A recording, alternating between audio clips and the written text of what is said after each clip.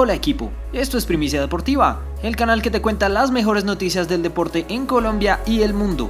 Estamos muy cerca de llegar a los mil suscriptores, así que corre a suscribirte ya mismo dándole clic al botón rojo en la parte de abajo. El gobierno colombiano en cabeza del presidente Iván Duque pedirá que Colombia sea la única sede para la Copa América 2020. Así se ha dado a conocer luego de la reunión que sostuvo el mandatario con varios dirigentes deportivos, entre ellos el técnico de la selección Colombia Carlos Queiroz.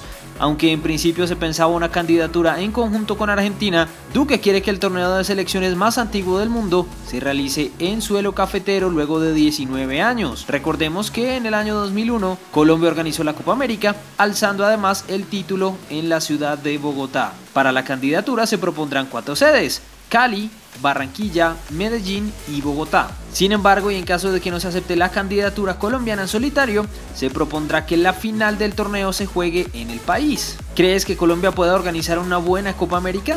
Deja tu opinión en la caja de comentarios. Esto fue todo por ahora. Si quieres seguir enterado de todo lo que pasa en el mundo del deporte, dale like a este video y suscríbete a Primicia Deportiva.